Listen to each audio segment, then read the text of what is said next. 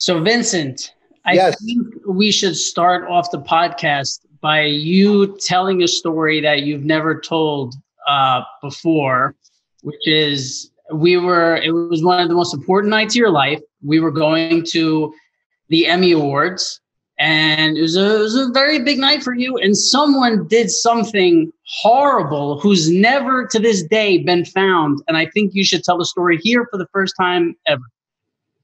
You mean the night we were up in the Hollywood Hills at a at a, at a club? Yeah, the whole. All right. Okay. I was okay. So I had spent. No, no, no, no, no, not that. Then when you were getting ready to go to the Emmys.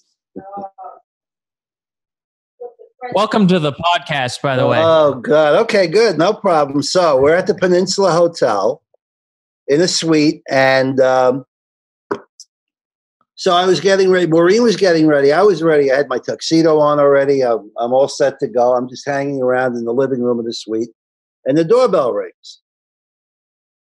So I went. I said, "Hello, hello, hello." Nothing. I open up the door. There's no one there. But on the outside handle of the door is a shopping bag. And I look in the shopping bag, and there's a whole big deluxe size thing of Depends. So I look down the hallway. Sure enough, who's scampering down the hallway? Little Robert. Because he's got a very warped sense of humor. We all know that. And uh, it was him. So he set the tone for the rest of the night. But he paid for it because I bit his head three or four times in public.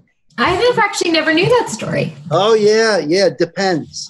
Um, Well, you know, it's a long night. Long It was a night. big a long night. night. It was a long night. The Big other, uh, huh? I said it was a big night for you, and I didn't want you to embarrass yourself. Oh, thank you. I appreciate that. I appreciate that. I still have the uh, tuxedo, by the way. It's still dry, Robert. No Well done.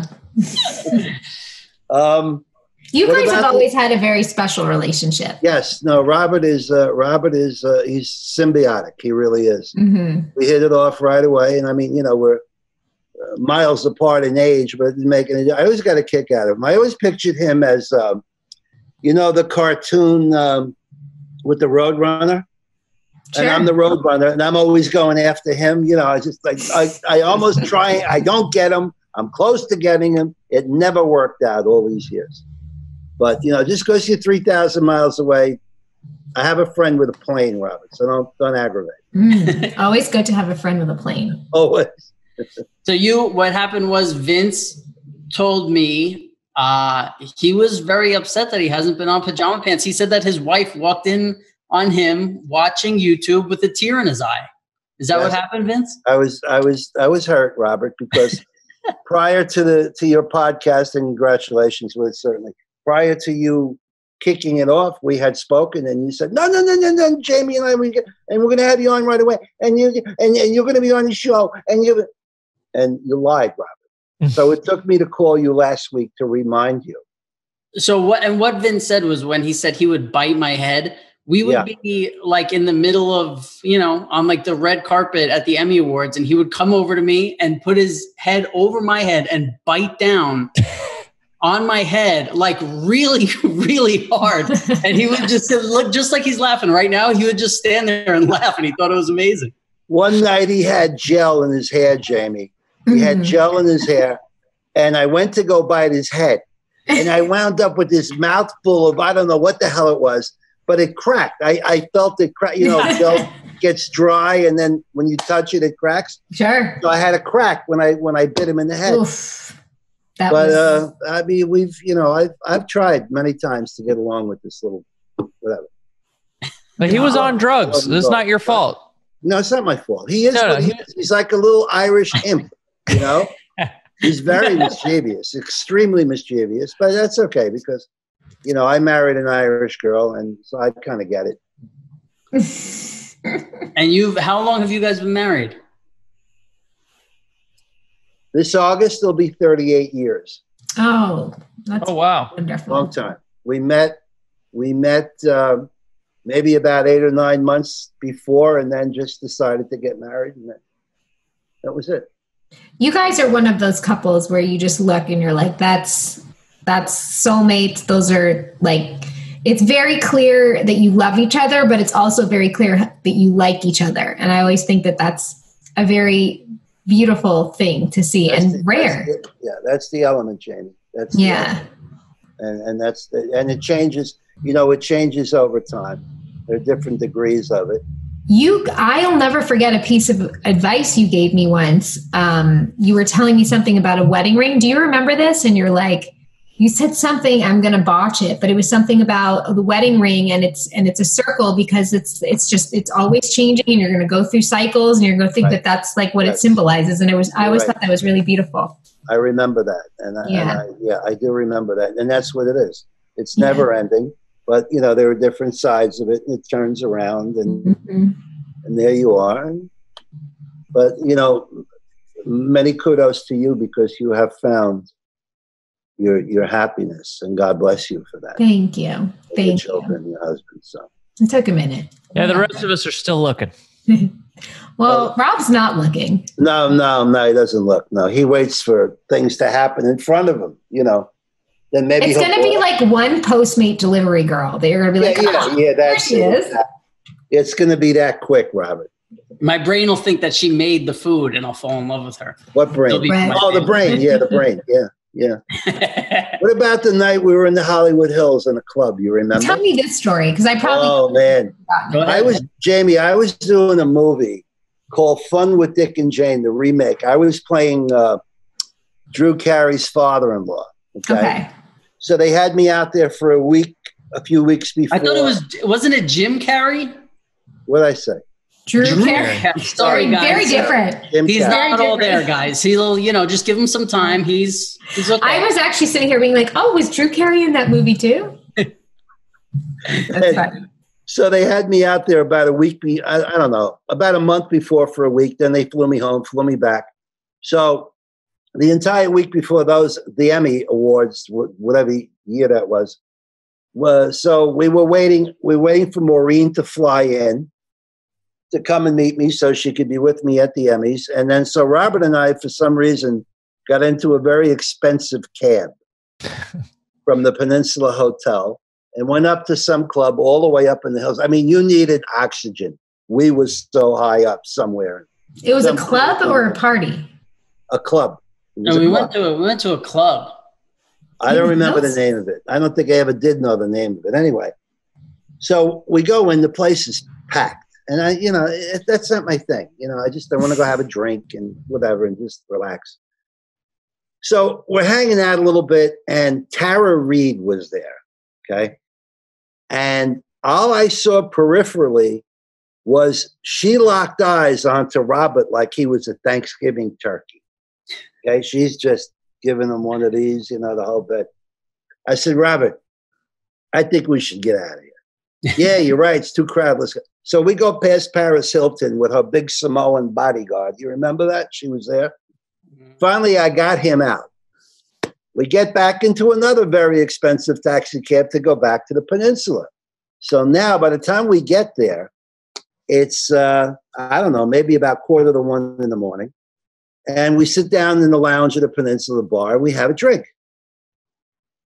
So we're done. You know, it's time to go upstairs and get some rest. A waitress walks over with a with a tab. We only had one drink each. It was hundreds and hundreds of dollars. I think I remember twelve hundred dollars. Something like that. Yeah, it, right. I guess there were other cast members, Jamie. They were drinking and they said, well, you know what? Let's go home. Let's go back to the room, whatever. Nobody bothered to ask for their tabs, of course. So we get the tab. So I didn't miss a beat. I had the pen in my hand to sign it. I said, Robert, is Landress two S's? He said, yeah. So I wrote, I, Landress, boom, producer from the Sopranos. Yeah, so And we left her a pretty good tip, too. Ilene left her pretty good. for people who don't know, picking up that for people who don't know, Ilene Landress was a producer on The Sopranos, and what happened was we had been drinking at the bar at like ten with everybody. We left, went to the club, we hung out, we came back, and they just thought we had never left. So they gave us the the check, like, "Oh, here you go." And he just turned right to me. He goes, "How many S's are in Landris?" It was I could. Oh, It was so such slick, so cool. it was it was like no, Jamie. It was seamless. It was just like two S's and it. Yeah, boom. And we were- it was hysterical. Seamless. That has three S's. Right? So what was it? What was it like working with uh, Jim Carrey? Not Jim Wonderful Carrey. guy. Jim Carrey, Jim no, Carrey. wonderful guy. He, um, my first, my first morning on the set when he came in, uh, we were in Hancock Park in some location, some house, oh, the house that my character owned, and he came right up to me, and I swear to God, he took me off base. He started telling me Johnny Sacks dialogue from different scenes, and I'm saying, what kind of a memory do you have? My God, we were like in yeah, fourth season by then, whatever it was. This guy just kept rattling off Johnny Sacks dialogue. It's eight o'clock in the morning. I never met the guy before.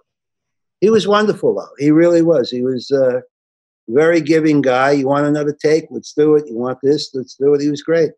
I played Téa Leoni's father. I said, Taya, I'm 12 years older than you are. I must have had one hell of a child if they got me playing your father. Hollywood Yeah, Hollywood, right? movies. Movies. I met Jim Carrey a handful of times. The first time I ever met him, I remember first of all him being the nicest guy, but I yes he loved Sopranos and he was talking a lot about exactly it. Yeah, Exactly right. No, it was great. cool. So, Robert, when are you going to get married? I don't know. This is this Yeah, is. man. I was I was a germaphobe before. It's just going to be worse after this. I think you know. Can you tell Rob's got a little bit of sun on his cheeks? Yeah, I know. I heard this. He went to visit you. You want to see? We were we were out in the sun for I don't know, a couple hours. He Yeah. started the day looking like like raw chicken breast or something. So He's Irish. That's white. fine. They they can't stay out in the sun. My wife goes out to get the mail at the end of the driveway. She comes back. You got to put salve on her. Yeah. Yeah, it was uh it was a lot of forehead peeling. I got I got a lot of sun too, but we, you know, you're you're not out in the sun for 3 months and then you go Mm. out for an hour Yeah, and yeah, it, I it might as well you might as well have just been at the beach all day. exactly. Exactly. Was it worth it, Robert? Did you did you feel that that helped you your mood and or Listen, would would you I- never want to go out there again because I was. sun? I told Joey. I was on the phone with Joey, Joe Perino, who's been on here uh, two nights ago, and I was telling him what happened. So I hadn't, I had left my apartment once in three months. So I've Kassem's like, listen, I'll come pick you up. Come to the beach. We'll hang out. I'm like, all right. He's like, I, I got a new house. Come see the new house. I'm like, okay. We get in the car. We drive down to the beach. Uh, we're we're by his house for maybe ten minutes. He's like, you want to come see on the top floor? There's a deck. And I'm like, oh, yeah, of course, let's go up there. So we go up there. He sits down on a chair and he's ordering food. And I'm looking out on the beach I'm like, wow, I've been locked up for three months. I'm like, this is so amazing to be here with my buddy, to be looking out uh, onto the beach. He's got a beautiful new house. And all of a sudden I look and I'm like, what is that? It looked like a like a rain cloud. It looked like a cloud coming at me eye level, like perfectly eye level. And I'm like, what is? And as soon as I realize what it is, I know why they call it hitting the deck. I hit the. It was a swarm of murder hornets, like No, of uh, a chasm. Well, How they were- long? they were bees. They were, they were bees. Some say they were bees. I say, I say murder hornets. It was chasm. So here's what happened. I hit Uh, the oh my deck. god! I hit the deck. I fall right to the floor. There- there's like so. Here's the lounge chair where Kassem is. He's sitting here. I hit the the deck right here, and I lay down. Kassem, God bless him. He's got a lot of talents, but I don't think vision is. You know, he's always got those glasses on. He Uh-uh. he he goes, "What is it?" And he looks, and he's looking. He's looking right at it, and he's like, "What? Yeah. What's going on?" And I'm like, "Babe, I'm like, was it's murder grazed my nose. Yeah, I'm like, it's a murder hornet. Finally, he sees them. He starts. He rolls over and turns. So now me and Kassem are just locking eyes for like 30 seconds while a swarm of what I say were murder hornets, some say they were bees, Oh. flies over his head the entire time. And I'm looking at like six inches from Kassem's face. I'm like, this is how I go. Like I was inside. I was inside for three months, and now it's just like, you know what? That's it for me. I'm. I'm. I'm and a never- murder hornet is going to kill you. Hey, uh, sorry to interrupt the show with Vince, um, but it's time for another sponsored ad read, and manscaped.com is back. We're so happy to have them back as a sponsor. This time with a new product, and I can't help but think it's aimed directly at me. Um, it's called the Weed Whacker. It's a nose hair trimmer. And they must have got a look at my profile last episode because um, th- this this I'm taking a little more personally than the Yeah. uh, lawnmower 3.0. Well, they told us they were in the works with the weed whacker, but they first wanted us to do the, the ball trimmer. And what happened was the weed whacker had a 60 minute battery life, and they saw our uh, podcast and said, we need to make it 90 because otherwise Kassem is just going to get half a nostril. Look, I I got I got to say this this one was a product right out of the box. Um, I didn't wait to charge. I didn't even read the instructions. I just turned on and shoved right in my nose, and it's got this. It was like one of those. It it's was got like, proprietary skin safe technology. Why can't I say proprietary? I shoved it in my nose, and I didn't worry about it snagging or nicking anything in my nose. Okay. it, was, it was like one of those missiles that has the tracking. It knows right where to go. You open up the box and it just. whoop.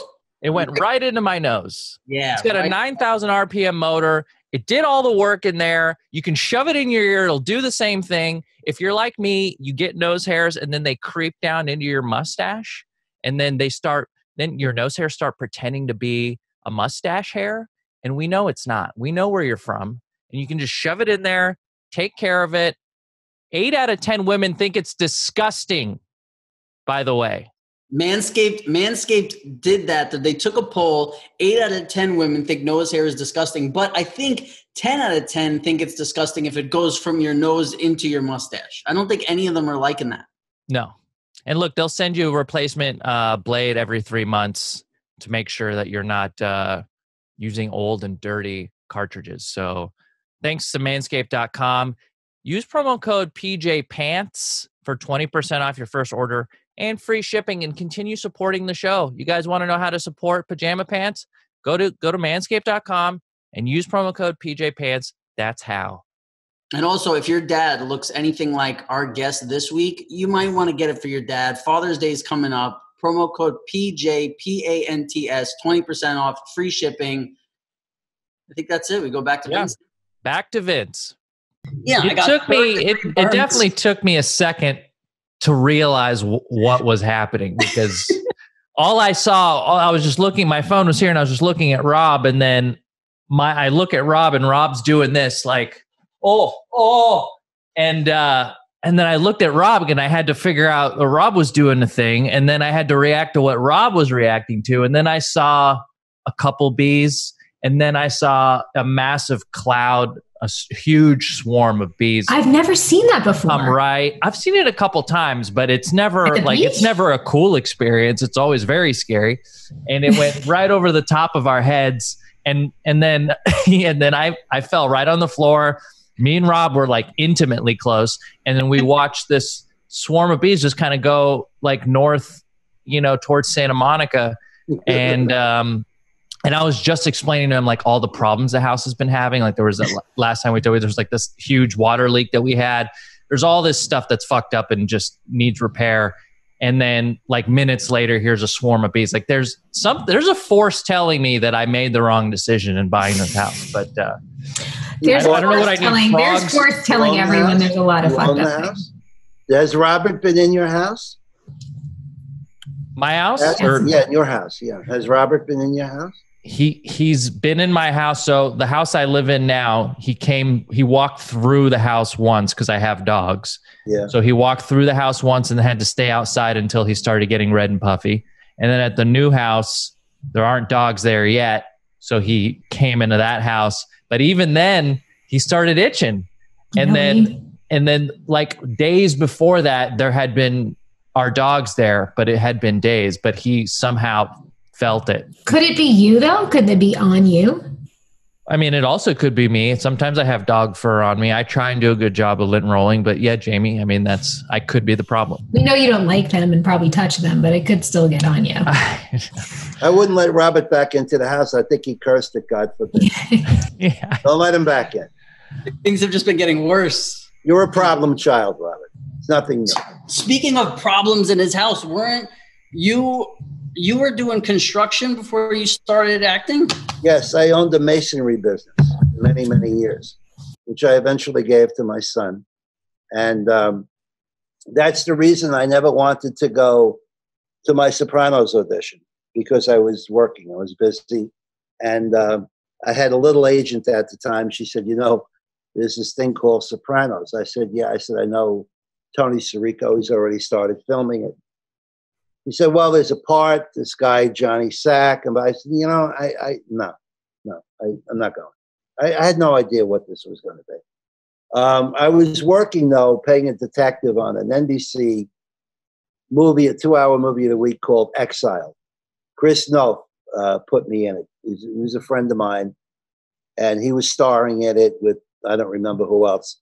And so I was on Staten Island filming, which is a great distance from Manhattan, actually, which was one of my excuses for not going to the Sopranos audition.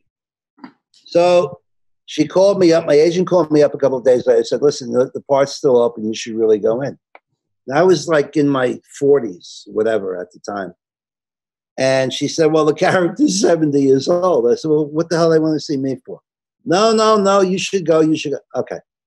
I got done on the set in Staten Island early, went back to New Jersey, put on different clothes, got into a cab, pull up on 79th Street for some strange reason. They were casting in a rented room.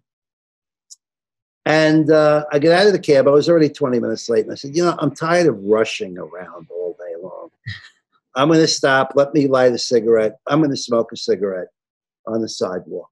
And I'll go up in a little while. Well, one cigarette led to the second cigarette. Now I'm a good 45 to 50 minutes late. So finally, I go upstairs and I go into this huge room. There's only one woman sitting at a table in the middle of the room. It was very eerie. And she didn't even lift up her head. She heard me walk in. And without looking at me, she said, Well, you're late. Uh, she said, I'm done for the day. I'm going home. I said, Good, no problem. Thank you. And I'm, I'm ready to leave. She looked up and she said, Okay, wait a minute. Hold on. She said, uh, They faxed you the sides? I said, Yeah, I have the sides. She said, Sit down. Let's, let's read this scene. And it was me brokering a deal between Hesh and Tony Soprano and whatever. So I read it, blah, blah, blah. And she said, All right, it's Thursday. I want you to come in Monday to Silvercup Studios. I said, What the hell? What is Silvercup Studios? What, what is it? Oh, it's in Queens and you can't miss it. You go over to 59th Street. Me, I drive like, you know, if it's not two blocks away, I don't want to go. So I get to the I get to the callback. I get to the callback and I'm in the waiting room and I hear these guys going in and out, going in and out, reading for Johnny Sack. Same dialogue. Now I'm starting to memorize it because I'm listening to them through the walls, you know. So they're all screaming, they're hollering, you know, well, you know, uh, Uncle Junior, you're wrong. Hesh should be this and Tony should be that. They're screaming. Every one of them is screaming. I said to myself, okay, I got it. So when it was when it was time, they called me in the room and is David Chase. Who the hell knew who he was at the time? I didn't know who he was. Alan Taylor was the director of this particular episode, and then the producers were there, you know. So they said, Are you ready? I said, Yeah, I'm ready. It was, you know, it was a couple of pages, maybe three. So what I did was when the reader would give me the other characters' lines, what I did was I whispered my lines. I said, No, Tony, Junior's right. He's not going to get that. And that now they're leaning over from their couches. What the fuck is he talking? Can you hear him? I can't hear him. I figured if a guy has that much power, he's that dangerous. He doesn't have to scream at you. He can just very quietly tell you the way things are going to be, period. And it, I guess it worked. So the next morning I got a call. And uh, this my my episode was only supposed to be one. Johnny Sack was only supposed to show up for one episode. There was nothing written beyond that for him. So I did it, and you know, it came out that January, whatever. And then I heard from them when they got to pick up for the second season. And then I think it was by the third, they made me a series regular. and uh, so we just built it up from there. That's so cool. Yeah, it was it was cool because it was something I was so reluctant to go to, to initially. I don't I don't know why. I just I wasn't feeling it. I didn't know what what this thing was going to be. You know, what does that mean, Sopranos? What you know? I yeah, just, and up until that point, um, you know, were you aud- auditioning regularly, or or were you just no no no no no no. That's, whenever that's you're the other point. I am so pragmatic. I'm so practical that I never wanted to really delve into this because you know I was either giving estimates to customers or I was running my crew or I was. So the last thing you could tell me in those days was, listen, you know, go audition for acting roles somewhere on 13th Street. You know, it seats 20 people. No disparagement to anything or anyone who does that. I think it's wonderful, but I just didn't have the time or the desire. So when this came along and then it built for me, you know, starting the second season, then I said to myself, okay, you know, I love the work, which I do love the work. I do love the work. And uh, we went on from there. And that, you know, that went into a lot of other things, you know. Well, how'd you get how'd you get started and and even get to the point of you know getting an agent and, doing all that stuff? What happened was that um, I had read in Backstage magazine years ago that Michael Moriarty teaches acting in his apartment in Manhattan. Michael Moriarty was uh, the original star of Law and Order when it began. Big, tall Irish guy. He was uh, nominated for Best Supporting Actor with Clint Eastwood for Pale Rider. He had three Tony Awards. He had three Emmy Awards. The guy was prolific. And I was so reluctant to go to the first class because I, you know, like, what do you do when you go to an acting class? What, what do you do? Do you talk? You sit there? What, like, what do you do? I pushed myself to go. It was a Wednesday night, and he's got about 25 students in the room. Well, how come you. Vince? Vince, how come you never give Irish people credit? Maureen made you go. Tell the truth. Tell the truth. Your wife Maureen made you made go. me go. You're- Yeah, you didn't want to go. If it wasn't for the Irish, you never would have been in the show. You never would have been an actor. Okay, go ahead. All right. No, actually, you're right. She did push me. She said, Michael Moriarty teaches acting. You should go. I said, Mhm. okay. So, but I didn't, whatever. So I went, you're right about that. So it took me a few weeks before I opened my mouth. I didn't know what to say. I didn't have a monologue. I didn't have a scene. I didn't know anyone there. And I was there for two years. I went religiously every week for two years. And the man, the only thing that I took away from this class was how to breathe when you're working, how not to do a, a big catch breath every time you deliver a line. Ju- he always said, you know, open up the top button of your of your of your jeans, uh, you know, loosen your belt, and when the time comes, you have dialogue. Just talk. You got plenty of air in your system, in your stomach. It was a diaphragm thing with him, and I I watched him do it many times, and he's very good. He was taught by I don't know the guy's first name, Guthrie, in some theater I, in Minnesota back in the 50s or 60s. And he only came away with the one thing how to breathe. Now, you, Robert, you came into my acting workshop this past Saturday. I don't know if you heard me giving those notes about breathing. You may or may not have, I don't know. But what happened was I remembered that at my Sopranos callback. And I said to myself, I'm just going to breathe and talk, open my mouth and talk. If they like it, fine. If not, that's life. But I wasn't going to put on a patina of a gangster or any, I, I, because I feel that's the worst thing you can do when you approach a character is to try to add layers to this. Just open up, talk. The director might say, a little louder, little less, whatever. But as you go in, you go in from like zero. Just open your mouth, talk. So many people just stress themselves out. Well, I have I to like be this. that. I got to, you know, what did my character have for breakfast last Tuesday morning? Don't worry about it. Just if it's in the writing, if the writing is good, it's there. You just have to pick it up and chew on it, and it'll come out. So I was there for a couple of years. Yeah. It sounds easy, you know, to say remember to breathe, but I you know, at least for me when I when I was doing scene work and stuff like that, it is it's it's a lot harder than it sounds. you know breathing is something we do all day long we don't think about it but the second there's like lines and you got to react to somebody all of a sudden i'm thinking about everything else like breathing or like yeah. what my face is doing and it's such great advice because it's uh you know it's it's something that we have the ability to do it's just when we get in our head and we start thinking about it um, it becomes like challenging now, you know, and challenging. Yeah, well, that's another thing, the thinking. That, that was one thing that Jimmy, God bless him, Jimmy always said, you know, we'd be sitting down into a scene, uh, stand, whatever it was, you know, like three or four other cast members. And he, I won't mention names, he would look at one of the actors and say, what's the matter? Uh, nothing. What, what? You know, before we go for the master shot. No, I'm fine. What's the matter? He said, you're thinking, aren't you? What I tell you all the time? Don't think.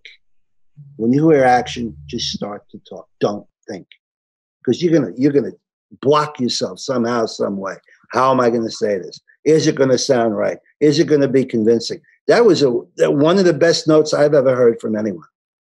As far as a coach or an actor, is don't think, just you know, go, just go. It'll something will happen. Just go.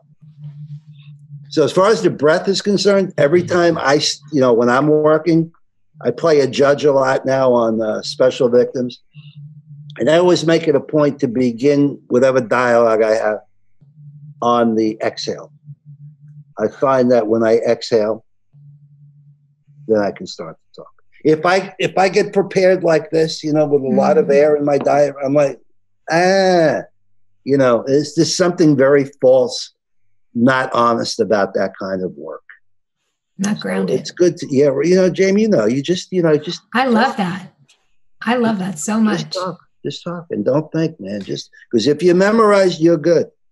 You know, that's your job. That's what they pay you for. They pay you to memorize it and they pay you to hopefully bring some type of a color to the. You, um, you know, it's so, it's so great that you say that about uh, James Gandolfini or Jimmy, as you call him, because you know Jamie's also expressed he had this ability to just kind of hone in and oh, yeah.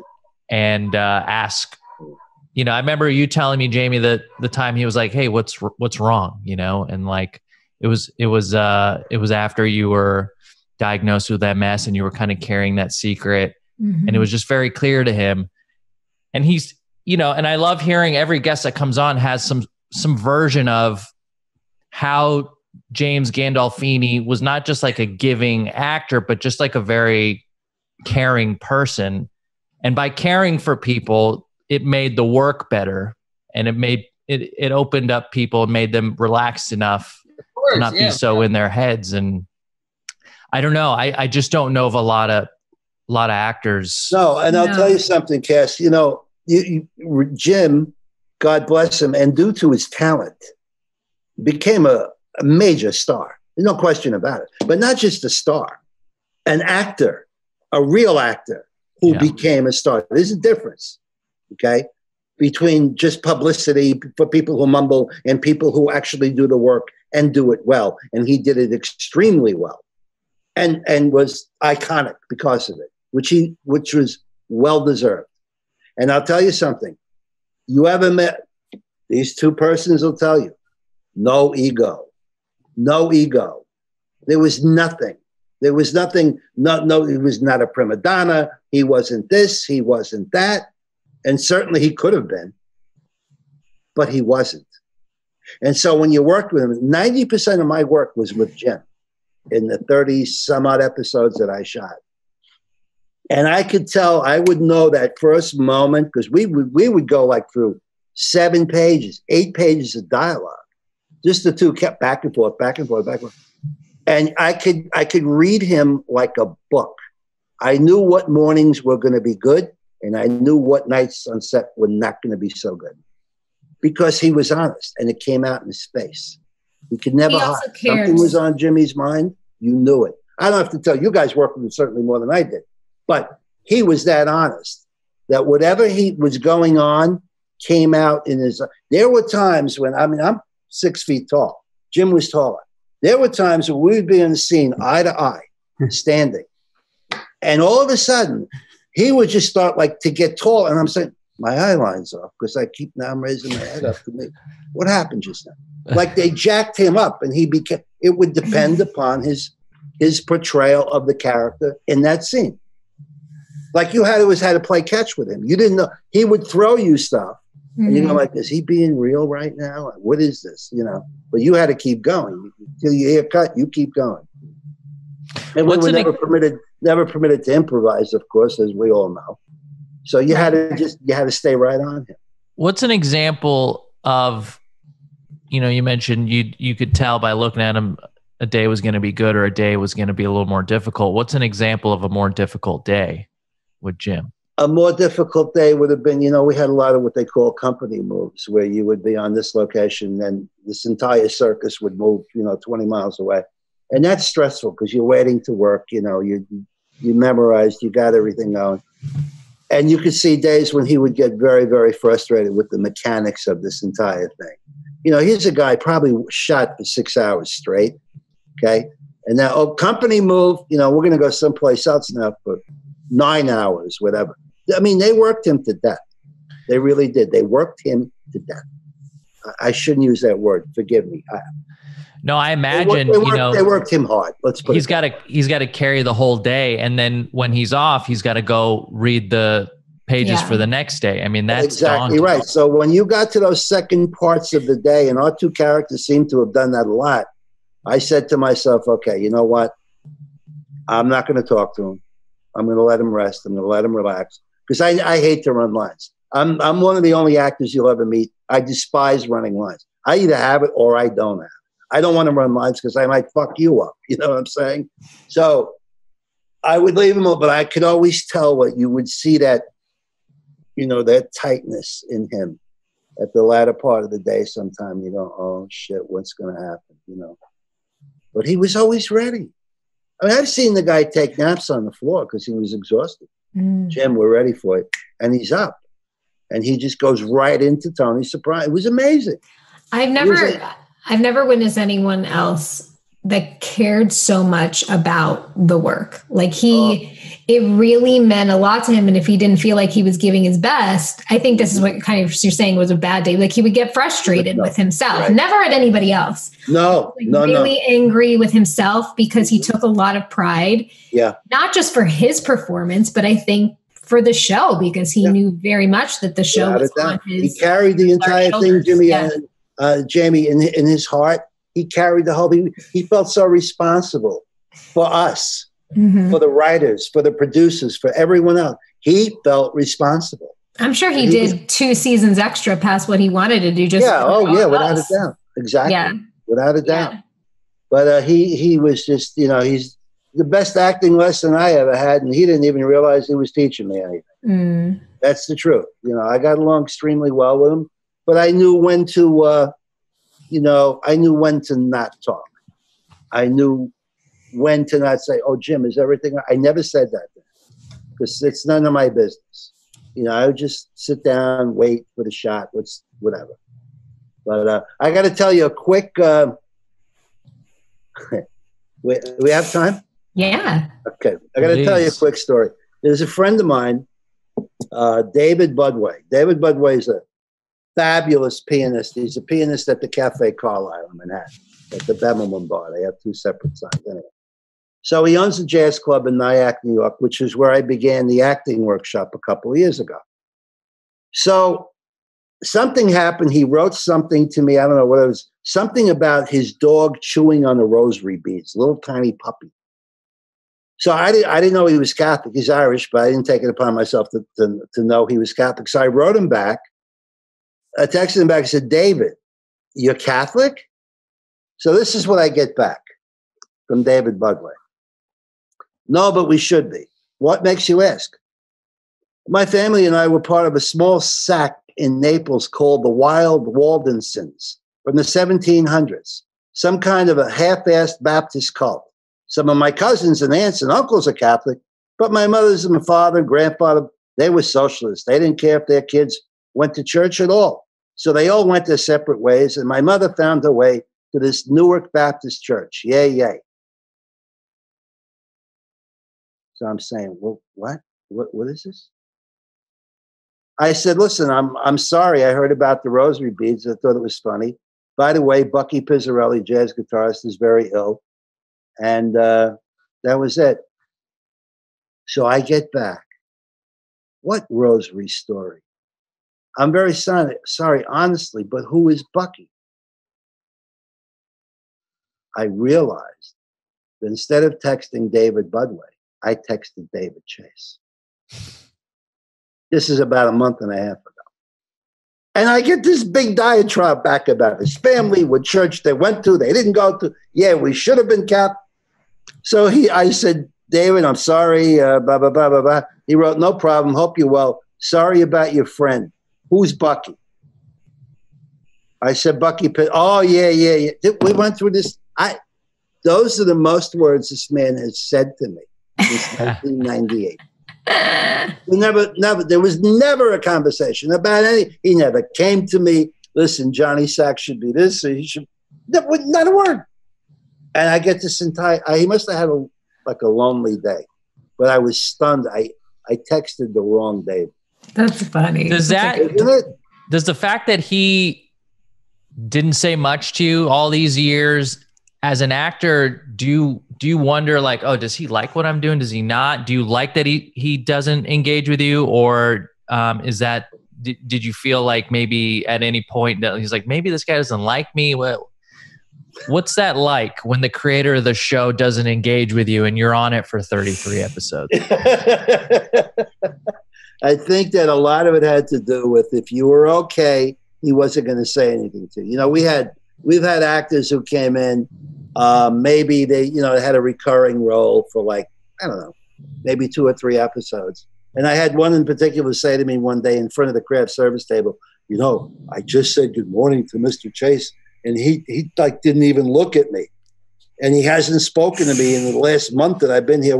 I said, You're blessed. David Chase doesn't say a word to you unless something traumatic is going to happen. Mm-hmm. So you're good. Just keep your mouth shut. You'll be fine. Mm-hmm.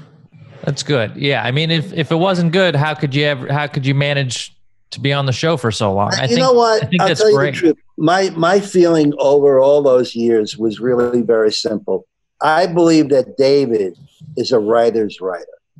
I don't feel that David is an actor's writer, and I don't mean. I mean, he's done this phenomenal dialogue, phenomenal ideas, but I think he's the type of a showrunner, a writer and producer who says, "Okay, look, I wouldn't have hired you if I didn't think you could pull this off. So I'm going to leave you alone. You know what I'm saying? He wasn't a hands on director. I think he only directed a couple of them. I think that he felt confident that, okay, he's put all his elements together, his other writers, the directors, the actors, the cast, and let's see what happens. So I, him not talking to me was was okay with me. Yeah, it was fine. Rob and Jamie, is that? I mean, did you guys experience the same thing with him, or, or were you kind of did you have a different circumstance? Um, yeah, I wouldn't say we engaged much. I think early on, he, I remember after the college episode, he called my house to tell me that I did a good job, which like meant a lot. Yeah. Um, and there was a couple of times, maybe like in like the third season or fourth season when I had some big scenes here and there though he would give me a kudos. And maybe maybe there was an event here or there that we would like end up next to each other and have a conversation, but it was never it it wasn't um a, a close relationship, I would say by yeah. any means. No. I felt like he was always uh, He loved you, Rob. He yeah, loves you. I felt like he was always really uh, nice to me, you know, and he yeah. did he said a lot of really nice things to me, uh, especially like w- when the show ended. Like he just he he was always really uh, great, but it, it was rare. But I think that's what uh, I, am comfortable with too. Like if if you know, I think it's if somebody was like giving you compliments all the time, it's kind of uncomfortable. So I think like it was really nice when you know, maybe once a season he would come and and give me a compliment or something like that. It really felt like, oh, he means that. You know, he's not mm-hmm. just saying it because we happened to be standing next to each other or there was something to fill or this. Like he came and was like, wow, what you did there was really good. Or even one time, like I forget if it was the Sopranos book or an interview or something, but he said like out of nowhere he just came over to me and he was like you had the best line in the book you know or you had the best line in, in this whole like if we did like a big long vanity fair thing. I think it was the book and it was something like you know sometimes when i even just uh, i forget exactly what it was but it was like talking about aj and being like i just want to i just want to smack him but it's me like you know like I, or like some something like that and he was just like oh that was my favorite thing. Because the funny thing was like most people hated AJ and David Chase always said like he couldn't understand why. you know, he's like, oh, he's just a kid, like you know, like he's uh, you know, I like him, and then people were like, oh, we hate him. Maybe he represented him when he was young. Who knows? Could be. Could be. That you know, it's, it's funny you mentioned when he was young, he grew up in a garden apartment in Clifton, New Jersey. Real, uh, you know, working class town with his mother and father. So the episode where Johnny Sack, uh, I moved to New Jersey. Then another episode, I have a big housewarming on my new place. So David happened to be on set that day, which, as you know, is rare. You know, he didn't come on set that often. And uh, Dominic is there, I mean, like most of the cast. And um, David turned to me. He said to me, um, "Your family was in the masonry business in New Jersey." I said, "Yeah." I said, "Then I went into my own, you know, years later and whatnot." He said, um, "Did they do a garden apartment in Clifton, New Jersey? It's a big project." I said, "Yeah, they did. Why?" He mentioned the name of the complex. And then I mentioned to him the name of the big builder. He said, Yeah, exactly. It's where I grew up. I said, My, my father did all the masonry. Wow. Dominic is off to the side saying, You know, my father used to get on a bus from the Bronx to come over to Jersey. He was a bricklayer to work for CNC Curatola Corporation. I said, Dominic, are you fucking kidding me? So now we have my family did the thing he was living in. Dominic's father came over to help with a trowel on a level. And that's weird. So cool. That was really strange. How much work did it sounds like your your family had a pretty successful masonry business then? Right after World War II, yeah. Yeah. But I, I you know, I'm not the type to work for anyone. So when I was 19, I opened up my own little thing. Mm. What would your pops think of that? Uh, he wanted me to get out of it quickly. yeah. he didn't want me in it at all. But when I did, um, my father was funny. My father was a lot like Jim's father, um, and and and and Jamie and Robert will tell you. My father had no filter. You know, and him and Jim's father would be, you know, on the curb somewhere, and his limousines pulling up, and he'd say to my, "How much you think we should tip the limousine driver?" those are the kind of guys they were you know. But my father was extremely happy when uh, when I be, you I decided to hopefully act full time. You you can make a decision to be a full time actor. It's up to the business whether they're going to make you a full time. Mm-hmm. Yeah, but you have to have the drive and the desire. So when did you start your your studio, um, and what kind of prompted that? Well, the uh, the acting workshop. Yeah, your I'm sorry, your acting workshop. Yeah. yeah um, about two and a half years ago, I was I was doing a performance in a club in Nyack, New York, which I'm in Jersey, but it's like right over the border. Um, and because I have a jazz band, I have a jazz group. Oh, okay. I have five jazz musicians, and I do a lot of Bobby Darin. I do a lot of a uh, little bit of Sinatra, not too much. And thank God, I mean, these shows have been well received, and the owners of the place said, Listen, you know, would you like to do something here? I said, You know, I would like to do something. And I think they thought I was going to say, you know, do a show every week or whatever, uh, uh, whatever.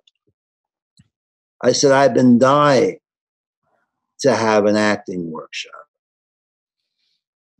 You would? I said, Yeah. And that was it from that moment on. And then they threw something up on Facebook. And I have these phenomenal people who come in now we're on Zoom, but we have like three or four classes a week because there are now 40 students. and it's wonderful because they're in close-ups for obvious reasons, and they're getting used to bringing it down.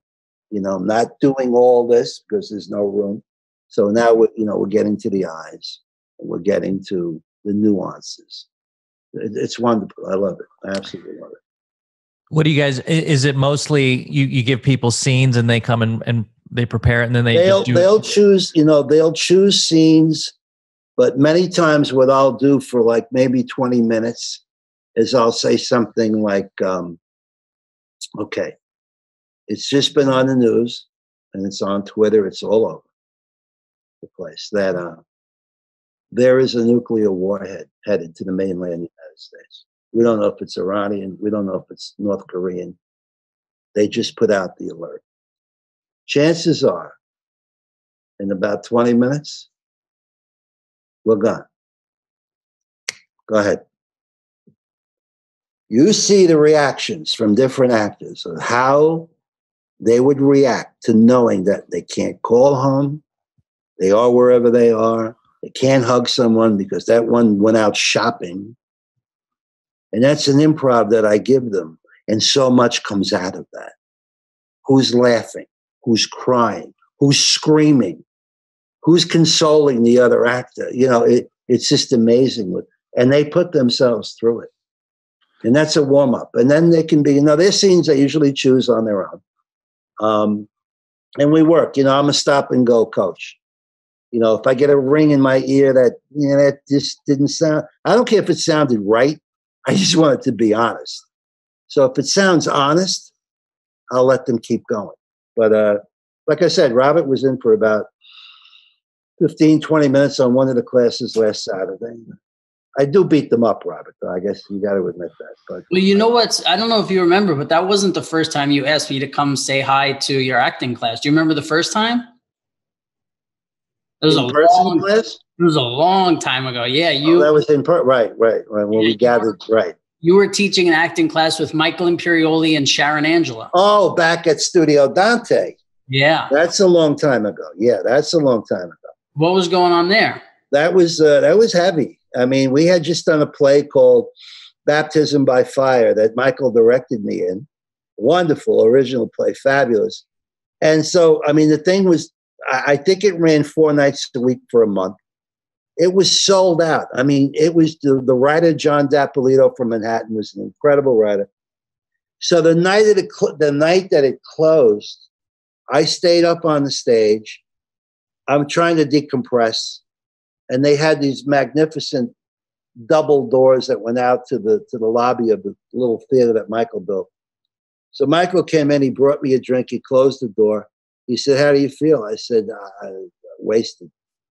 Because it was a it was it was a real piece of work. This thing really was. My son blows his brains out on stage. It was tough. I said, Michael, I have an idea. He said, What is it?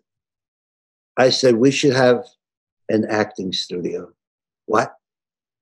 I said, Well, you have all the room, you have this, you have that. He said, Hold on, I'll be right back. He goes back out into the lobby, talks to his wife, Victoria. He comes back in and says, Let's do it we put the thing in backstage and it went like boom. And, and the only reason it ended three years later is because he sold the he sold the building. It was the, so the, that was back in the O's, you know. So this thing has been in my mind all this time, and so now we and and I have um, I have a separate cast that's been rehearsing Glenn Gary, Glen Ross for the last two months. Those are separate guys, separate students. You know, it's funny because when you were talking about how David Chase was a writer's writer and maybe not an actor's writer, I immediately yeah. thought of David Mamet and and I was trying to think, I'm like, is he a writer's writer or an actor's writer? Because he's got this very distinct staccato sort of style when he's writing, and it's fun as an actor, uh, but it's harder. Is but also as a writer, he's pretty prolific. I mean, what where do you think David Mamet falls into that? Mamet, Mamet gives you great stuff to chew on. You know, where he'll take a word like, uh, you know, they'll say in Glengarry, I don't believe it. They stole the leads. They stole the phones. They stole the phones. I just told you the phones are gone. I can't believe they stole the phones. What are we supposed to do without phone? Now you're listening to this word phone 15 times. And we've only gone down a half a page so far, but that's Mamet. He locks onto a word and he makes sure that you remember that subject matter because he, he makes you repeat it and repeat. And it sounds, it does to me sound like real life because, you know, my wife could say something to me like, You want iced tea? You want lemonade? I'll have iced tea. You sure you want the iced tea? Because I just made the lemonade. no, I really like to have the iced tea. I think you're drinking too much. Now we're talking about iced tea for five minutes.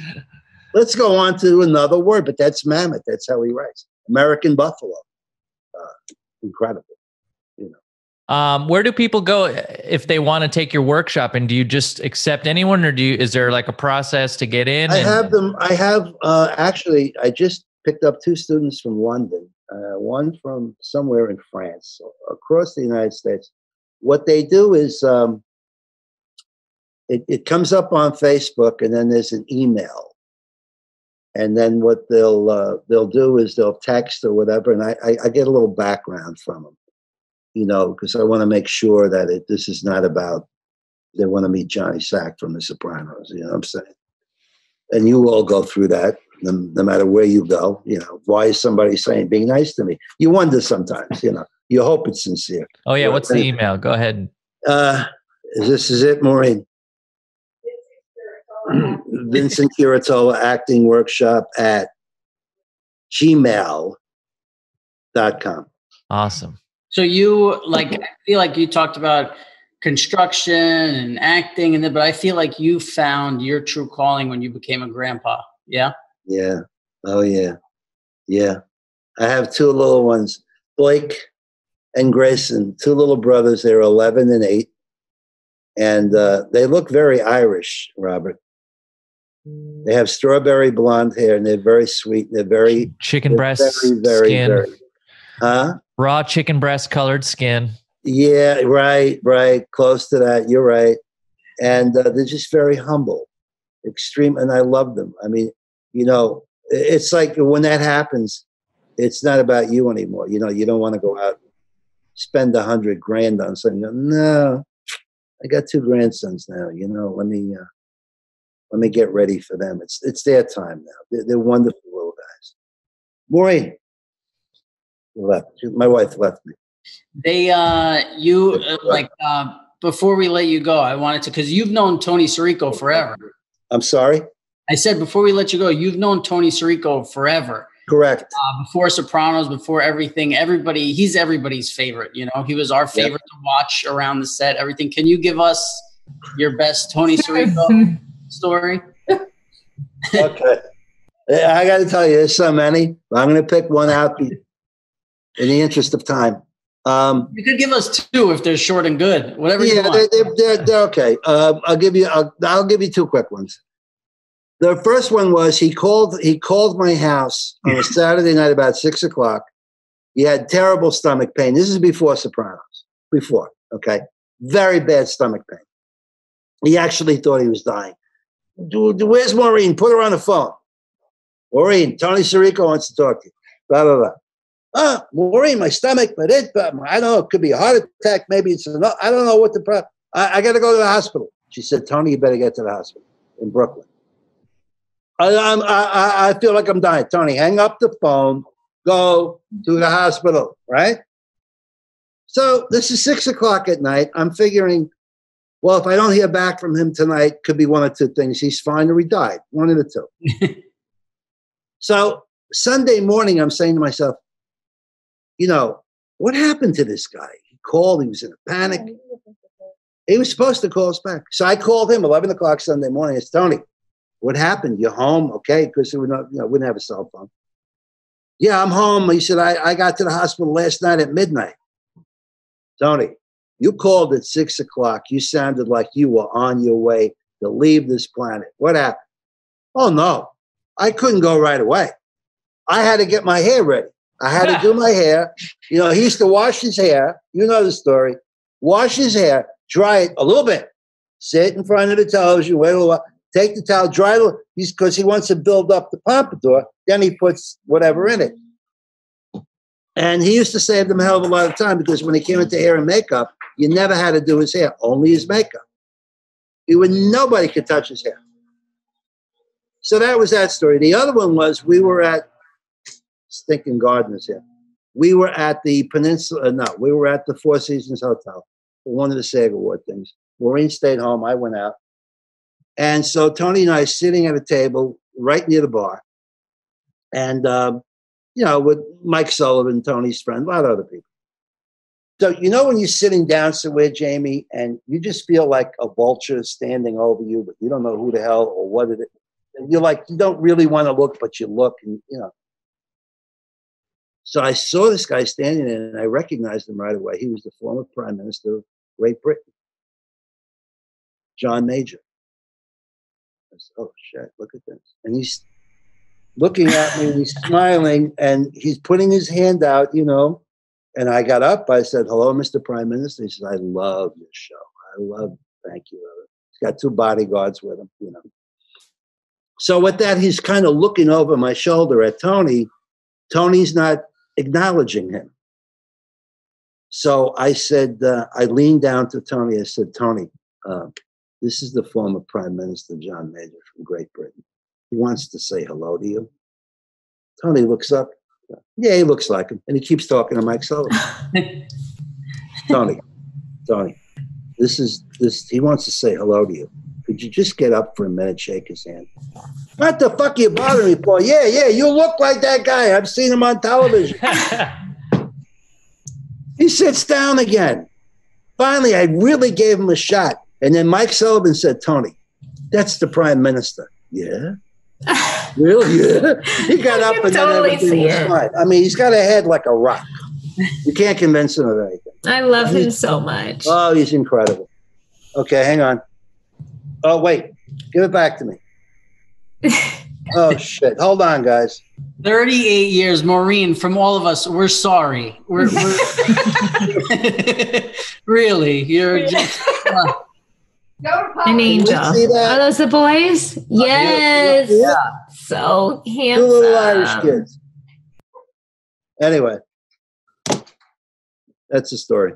Well, my my favorite, uh, real quick, my favorite uh, Tony Sirico story. We were at a charity thing, and there's hundreds of people. It was like one of those HeartShare things that we would do. There's hundreds of people in a room, and there's somebody up on stage making a speech, and it's quiet in the room, and you hear him going, "Oh, oh," and he's like snapping, and he's doing the thing. So like slowly, everyone starts to turn, and and, and everyone's looking at him. Hundreds of people, and he's oh, and he's getting the attention of one of the people going around to the tables pouring wine, like three tables away from him. And so finally, somebody at that table taps that person who's given the wine. They look over with the bottle, and he goes like this: "Get over here." So they walk over. Everybody's watching. Everyone's looking at like, what's going on? Tony Sirico doesn't say a word to this person. He takes his two fingers like this and he points to his wine glass, like fill it up. So the person just starts like filling up the, the wine glass. And right when they got about three quarters of the way up, he just went like this. And he like turned his Turn the faucet off. outward, You and the person stopped pouring. And Tony Sirico grabbed the cup and looked back up to the person on stage speaking. And it was No, you mentioned you mentioned wine. One night, Emmys, the night before, Brad Grey had all of us to his mm-hmm. home in the hills. Remember? And he's sending multiple limousines to the hotel, pick us all up. He's going to have a party for us, whatever. We get out of the limo, and Sirico happened to be in the car with Mike Sullivan, Maureen, and I in the one car. We get out of the car. We're walking this massive driveway and lawn up to one of the portable bars Brad Grey had set up. And there's a bartender there. Oh, hello, Mr. Sirico. How are you? Hello, Mr. Kirato. Yes, fine, thank you. Tony said, uh, so Brad Grey's standing right there. Tony said, uh, you got a Santa Margherita Pinot Grigio? yes, Mr. Sirico, we have it. Hold on, let me get your glass. Don't be giving me the stuff from under the bar. You're telling me it's Santa Margherita. I want the real fucking one. Brad Grey standing like Brad Grey's going to pinch pennies now. Get the cheap Santa Right, Margherita. right, you know what I mean? right. I said, Tony, stop. He was dead serious. He says, How do I know what this guy's really going to get? Tony, shut up. Just shut up. It works when you shut up. Oh, he's amazing. No filter. Meanwhile, they're, they're coming around with plates of caviar and all this stuff. Yeah. Santa Margherita. Canapes, canopies.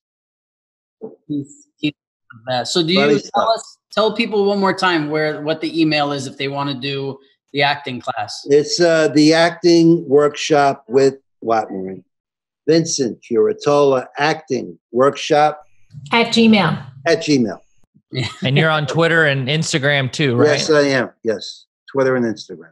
What What's your Oh, just Twitter is at Vincent Curatola, no spaces. Instagram is Vince underscore Curatola. Love it? It was great meeting you. Thanks so much Love for you, coming on. Pleasure. Love you too. Love you, Vince. Thank you so God much. bless you. for doing it. Thank you. I appreciate it. See you Bye, guys guys. next time. Remember, you can follow us at Pajama Pants on uh, Twitter and Instagram, and subscribe to our YouTube channel. We just broke ten thousand. Right? See? It's fucking great. Thanks so much, and um, we will uh, be back next week, same time. What do you say? All I'll right. see ya. Later. Bye, guys.